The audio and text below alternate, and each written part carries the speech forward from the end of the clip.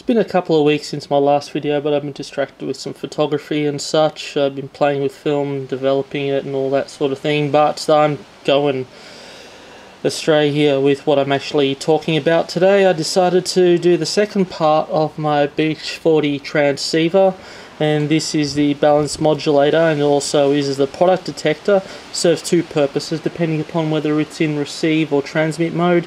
In receive it's the product detector. In um, transmit mode it's the balance modulator.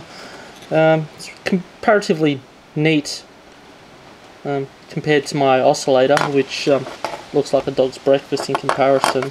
It's kind of didn't plan it all that well but the important thing is it works there it is, I wound the toroid myself. Looking much nicer. You got your four diodes sort of standing up. There's another diode hidden behind that green capacitor. I used a 100 ohm trimpot instead of 200 ohms because that's what I had. Shouldn't make much difference. I've seen other circuits that use 100 ohms. You can see most of the board is the ground plane with all the guts in the middle sort of cut out with my trusty fake Dremel.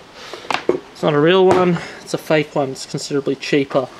Um, there it is again. Between the two of them with a couple of extra parts, um, probably next what I'll tackle is the amplifier and then the filter um, which filters out all the yucky yucky harmonics on transmit and then I'll have a working um, receiver. After that I'll do the do the power amplifier for the transmitter. So there it is so far.